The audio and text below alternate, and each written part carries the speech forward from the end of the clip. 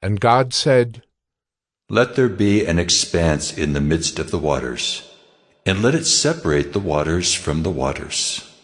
And God made the expanse, and separated the waters that were under the expanse from the waters that were above the expanse. And it was so. And God called the expanse heaven.